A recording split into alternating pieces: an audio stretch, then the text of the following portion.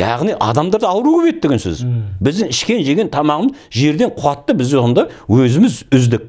Сонымен көп жеп жа- жеп жатқан сон, тамақтарымыз иә, сон, иә, со- сонымен үлкен суықтық адамдар қайта қайта неге тамақ жейді? Осындай қуат жоқ болғасын да сен қазір ет жейсің шамалдан қарның ашады.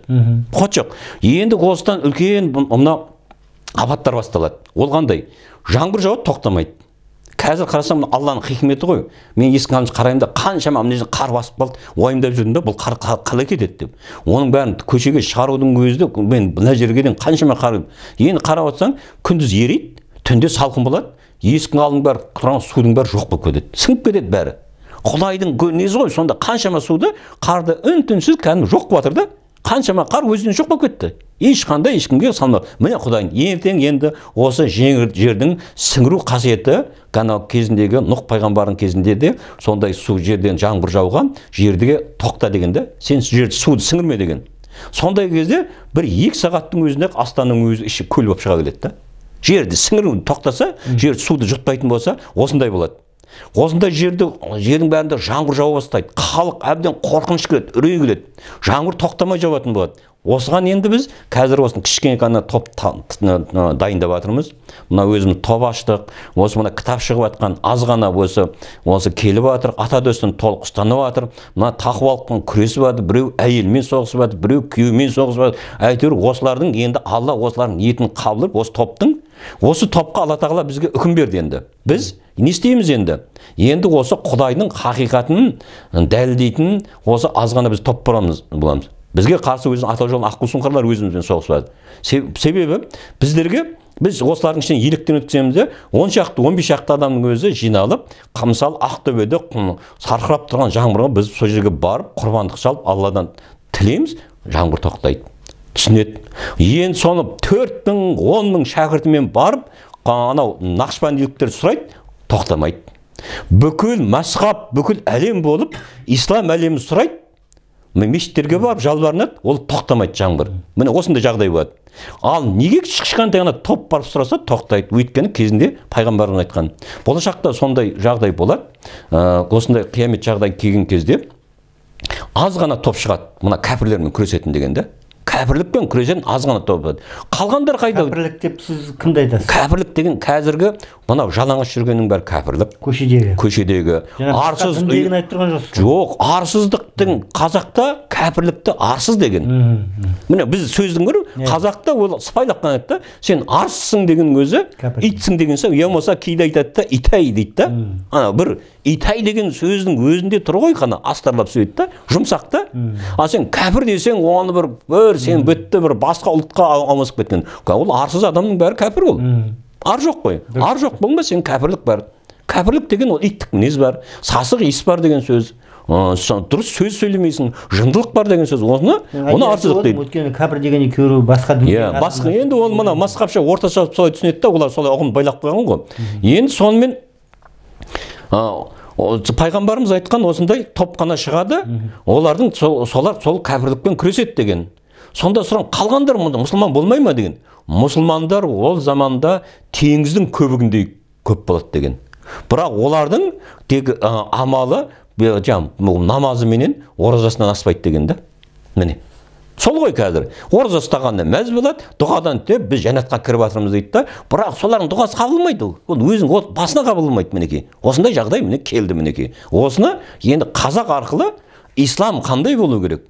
Дін қандай болу керек дегенді біз қазір осы қазір енді отыз шақты біздің топтың арасына үкім түсті отыз адам тілегін алла тағала қабыл қылады міне болды. Енді ол мүмкін тоқсан болар.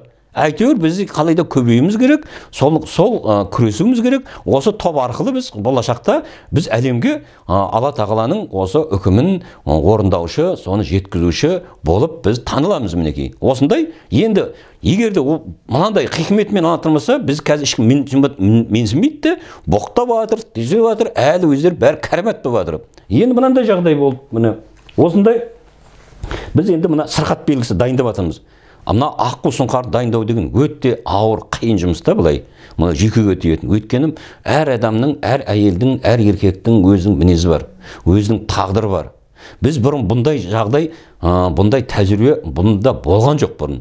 Енді бұнда болмағаннан кейін бұрын тәжірибе бұндай өтпеген мен ешкім айналыспағаннан кейін а бір жерден біз бар бұрынғы әулиелердің ісін қайталағанмен біз ол бәрі ол әулиелік онан шықпайды. Бұл қазір осы заманға сай амал жасау керек та. Осы заманға сай амал жасау үшін бірінші не керек? Бірінші хабар жеткізу керек. Құдайдың хабарын нақты жеткізу керек. Енді сол құдайдың хабарын ол әркім әртүрлі айтады біреу былай шығады. Соның қайсысы шын қайсысында шамалы жалғандық бар қайсысы әлсіз екенін біз соны анықтайтын мына еркектерді дайындау өте қиын болып жатыр. Себебі неге? Еркектер бар ондай азаматтар бірақ оны сесін ұрлап алған ал деген соны өз тал- талпынғандарының да үйлерінде мысалы сен қарасаң сен еркек тұрғанда намыс жағынан ешкімнен кем емессің барлық жағың келіп тұр да бірақ сен енді үйіңде өзің қазір осы қоғаммен күресуге әлсізсің. Сезін. Сен әйелің келін жалаңбас жүре ме? Сен оған ұрыс соқ бәрі ол сен бәрі ол кимейді өзің. Кимейді. Сосын сен қазір жаңағы. енді сен қазір балдарың орысша сөйлей ма мен байқап қалдым сен де балдарыңмен орысша қарым қатынастайсың міне осының бәрі сенің қазір мынау тектілікті меңгеруіңе тұрған кедергі. Бұл қарапайым ғана кедергі ана тілің ана тілің дәретсіз тамақ ішуің сосын енді қазір сен қоғамда осындай білімдінің бірісің сен неғылсың бірақ сен көп сөздерді қате айтасың. Өзің білмейсің да саясатқа араласасың да айт бірақ нақты болсын ол рухани өзінің артында құдайдың тұрған құдайдың еркімен сәйкес болсын сендер несін көп сөздеріңде құдай қарсы боласыңдар да. Неге өйтпейді неге бүйтпейді деп. Қазіргі міне ашықтан ашық біз алып та құдай айтып жатыр сендер осындай не болып жатыр шығындануға болмайды сендер осы халықты ар ұятқа шақырыңдар деп жатқанда біз алып та бір адамды дәріптеп жатырмыз. Оның артында не тұр? Яғни біздің нұрсұлтанның неғаның бәрі ол құдай болды.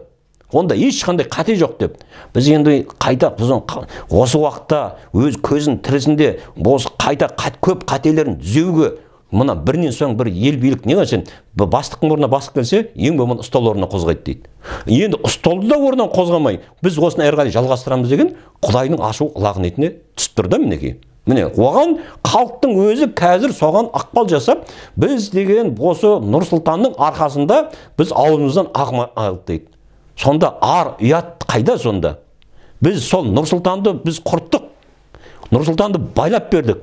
Оның тұқымын мен мына шапыраштың жұлдызын сөндіруге осы білімді қауым ықпал берді деген ертең бәрі үш төрт жылдан кейін ол ашылады бәрі. Соған келеді.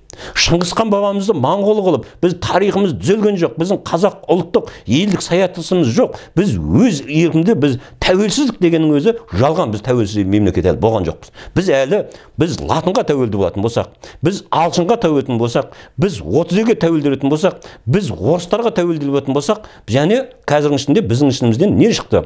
Қазіргі біздің осы батыр деп жүрген мына орысқа кектеміз бәрі осылардың бәрі рухани қорқақтар осылар сатқындар опасыздар. Себебі неге? Орыс ұлты өзің өзің несін өніп өсімін рухани тежелген халық қазақ халқында мүмкіндік тұр. Мінекей осы заманда біз қайта қа- орыс бір жүз елу мың орысты қазақ қылатын рухани батырлар дайындауымыз керек еді да. Біз бүкіл мына таңбаның бәрі біздікі екенін дәлелдеп бүкіл біз олардың аға ұлт екенін дәлелдеудің орнына біз керінше орыстан қорқыныш салып осыны бөлектеп ана қара нәсілге жалғануға мінекей соған ықпал етті. Енді осындай жағдайда мынандай хабар келді. Бір қыз бала бір әйел маған хабарласады.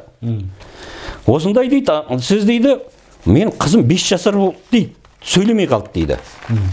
Мен 5 жасар сөйлемей қалды соған сізге маған сізге жігіт сіз не айтасыз дейді. Сосын айналайын деймін сен әуелі садақаңды сал деді. Ырымдау өзің тілекте. Сосын қызыңның ә, туған жылын ә, айын өзінің ат жөнін жібер деп. Сонан кейін көреміз деп. Иә сырқат берсін екі мың он төртінші туған екен. Енді соны қалады оған ә, сөйтсе ол ә, атасымен қосып атапты екен да кеңес аружан деп. Көрдің ба қазіргі мынау сен қазақ боласың деген өзің соған енді аруақтар не етті? Кеңес атасының аты арқылы күнәсіне де тікелей жалғанып тұр дейді. Міне. Ана сөйлемей тұрған бірінші себебі. Сонда ол кеңес аружан дегеннен кейін кезінде тұрған кеңес атасының әлі ақыреттен тозақтан әлі өтіп болмаған соның күнәсіне жалғанып кетіп тұр бала. міне барзақ әлеміне. Енді тікелей жалғанып тұрды да сонан дейді де ата ананың тағдырында дейді жасырын зина белгісі бар дейді. Яғни ол өзің әке шешеден келді ме келді ме зина белгілері тұр. Міне шеше жағынан ба әке жағынан ба? Тағдырда тұрған жүк қой енді. Соған байланысты енді сені дейді болған ана шешесі ә, тазалықпен жүру керек тақуалықпен керек орамал болу керек етегі ұзын болу керек. Соларды енді осындай ғой енді қарап отырсаң мына қа- қанш- қаншама енді кеңес беріп жатыр әруақ. Қалай түзеуге болады? Ол осы екі сол екі жылдың ішінде бір жыл осын мен келсең бір жыл екі жылдың ішінде бала сөйлеп кетеді деп тұр. Енді оны қара. Бұлақ суын ішкізу керек дейді. Осыны қандай нәрселерді айтып тұрғанда енді жаңағының осы қыздың әкесі менімен телефонға шығып тұр. Әй дейді әй дейді сен кімсің дейді?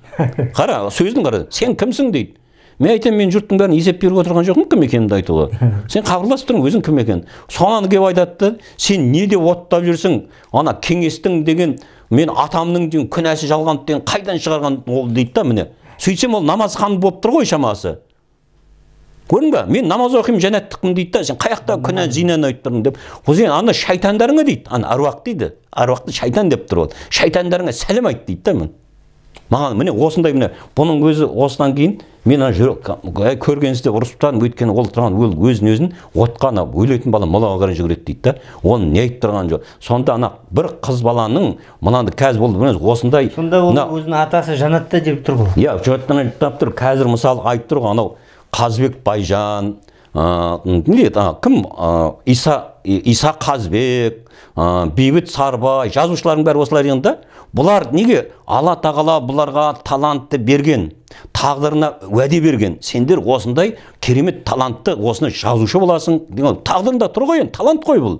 Сөйтіп бергенде бұларға енді сөйтті олар енді өздері алды да әкесіне жалған балаларын санады да бірақ ертең балдарында біреуінің тілі кеміс болады біреуінің ділі кеміс болады біреуінде ғылым дәні бәрі айналып келгенде анау тұрған сол аталардың есіне жалған себебі олардың бәрі жәннатта болатын болса біз әлемде біз бәріміз періште болып керек та.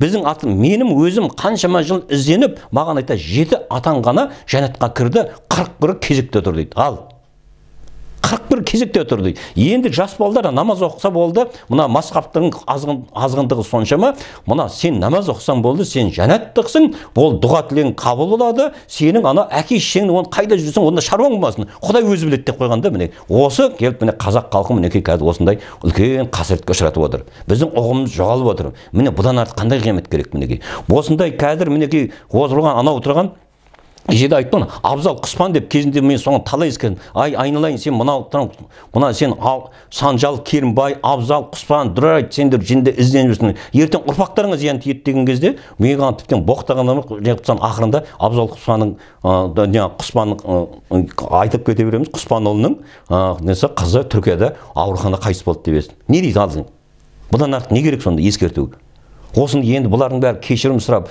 оларды түзеу керек. Біз орыс ұлты жоғалады түбі орыс ұлтының бәрі қазақша сөйлейтін болады. Біз сол үшін біз орыстан қорқып бұнан бұғып мынаның бәрі латын таңбасына ауысамыз. Біз барып мына қазақша осы ібілістің ұрпақтарының амалы мінекей. Осыны құдай қаламай тұр да құдай бізге ескертіп тұр. Сендер оптарың ептеріңді жалғап аласыңдар. Сендер мына өз мына кер жаза кириллица таңбасын сендер өздерің осы қазақтың негізгі таңбасы деп. Енді 76 әлемде жалпы 76 таңба бар. Мінекей. Әр таңбаның өзінің мына тылсыммен жалғатын орны бар. Оның айтқанда жаңағы торсионный ы, м, энергия дейді торсионный дейді. Әрқайсысының мына құйынды өрісі бар өзінің ақпараттық жүйесі бар. Бұның бәрі ертең сызықтық белгімен дәлелденеді ғой. Бұны әлем қазақтың осындай ұлт екенін дәлелдеп береді ғой. Кеше шыңғысхан бабамыз дәлелдеп берген сияқты тағы осындай дәлелдеп береді ғой. Сонда біз не істейміз енді? Сонда осындай со- сол кезде айтпайын ба? Нұрсұлтан деген кім болды деп? Соған неге сендер қаланың атын бердің бар көшенің атын бердіңдер деп? Біздің бетімізге түкірмей ма ұрпақтарымыз? Сондықтан қазір сабыр қылу керек әуелі сол нұрсұлтанды міне елбасымызды осы қазір мына зұлымдықтан арашалап алу керек. Бірінші. Мінекей бұны бұның бәрі алдын ала ескертіп отыр ғой. Бірақ қазір егер де ел билік болса қадам жасайтын болса білімді қадам қа- қауым қадам жасайтын болса біз қазір ертең құрғақшылық болады деп отыр. Халық аштыққа ұшырайды. Мінекей. Бұл ойыншық емес енді ескеріп біліп жатыр. Осыны енді біліп тұрып айтып тұрғанда да сонда да бізді қазір астананың атын өзгертіп біз сол саясатпен жүріп біз осы жерден шыққан өнімдердің бәрін осы сатып сонымен күн көреміз деген осының бәрі ақымақтық надандық қиямет деген осыдан басталды. Енді әрбір отбасына жауаптар түсе бастады. Осыны қай қасірет ел қорқынышқа кіреді осындай жағдайда біз тағы түсіп біз сегіз жылға дейін аяғымыздан тұра алмаймыз. Мінекей. Сегіз жылға дейін осындай қарызымызға белшемізден батып осындай бір кедей ұлт боламыз мінекей. Өзімізге тұрған байлық не? Себебі неге? Себебі біздің білімді қауымымыз арсыз біздің дініміздің өзі орта топқа кетіп қалған бізде жалпы әл, әлемге қуат қоспақ түгілі бір бірімізге қуат қосам деушілердің өзіне тыйым салып солардың аяғынан шалып соғысып жатырмыз мінекей.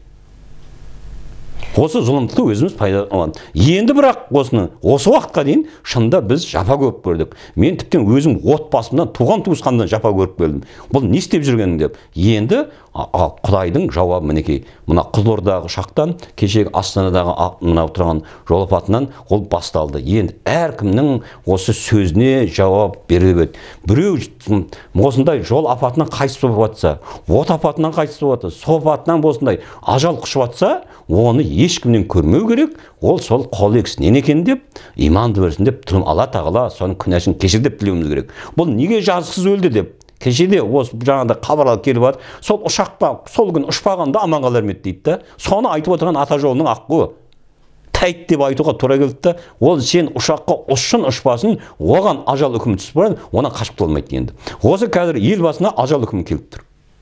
Оған бірақ енді оның мына қыздарының осында тұрған сол шынымен аятын болса тоқаевтан бастап қайта соны қалай құтқаруды ойлау керек та қайта біз мақтап мақтап мына ажал онан сайын жоғалуға болсақ бұл тұрған қазақта тұрған ертең таңба болып қалады мінекей. Қанша еңбегі етті ғой. Енді сол еңбегінің қызығын көрсін да ақсақал болсын ізденсін деп мүмкіндік беру керек та. Өз күнәсін өзін ақтауға мүмкіндік беру керек. Біз қайта сол нұр сұлтанды мақтап біз қайта өлтіруге мінекей әбілестің істеп жатқан тезірек өлсе өйткені күнәсімен өтіп кетсе о дүниеге ол бір адамды тұқыммен жоғалтқан ол ібілістің еңбегі болып шығады. Міне соған тоқаевтан бастап жәрдем беріп жатыр.